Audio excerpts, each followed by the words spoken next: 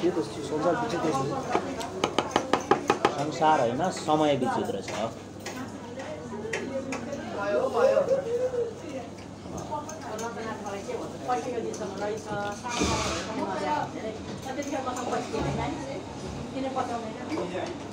यो त बडो कडा छ यार पिरो छ।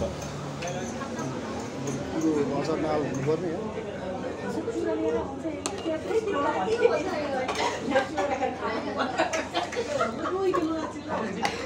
एउटा मजदुर मरेछ। एउटा सहरमा पोस्टमार्टम गरेको घुँडीमा के रहेछ भने एक डल्लो गुड र एक मुठी चना मात्र रहेछ। चनाको हिजो इन्डियन आर्टिस्टको कुरा क्या एउटा फेमस आर्टिस्ट गुजरातको।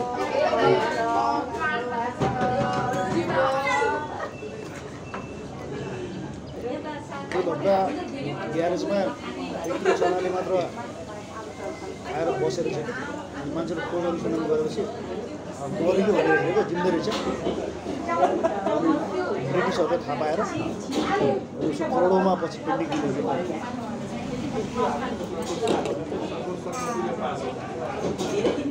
यो भन्दै थियो मलाई दुनियाँमा न चित्र बिक्ने हो न कला बिक्ने हो बिक्ने एउटा वासना हो क्या?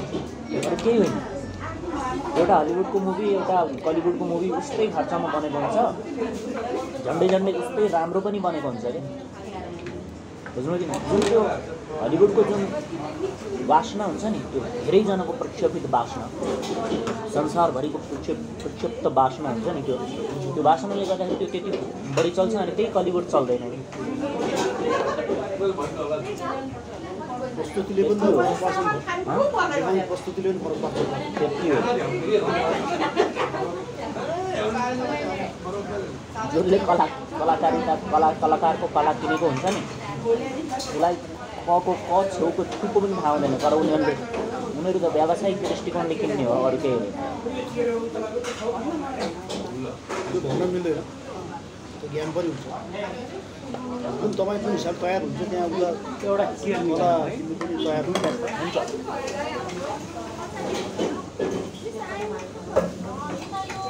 मेरो होइन नि काम दुईवटा त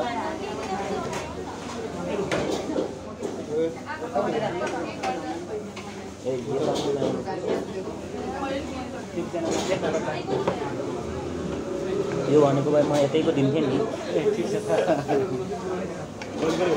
अनि यति धेरै भन्छन् उनीहरूले जसले त्यो किन्छन्। त्यो दसजना कि सयजना कलाकारले पनि त्यति धेरै बोल्न सक्दैनन् कि त्यो आर्टको बारेमा। तर त्यो बिजनेसम्यानले त्यो सयजनालाई पनि फेल गर्ने हिसाबले प्रस्तुति गर्छ कि त्यो कलाको त्यो चित्रकारिताको त्यो जान्दछन् कि तिनीहरूले गाउन। Thank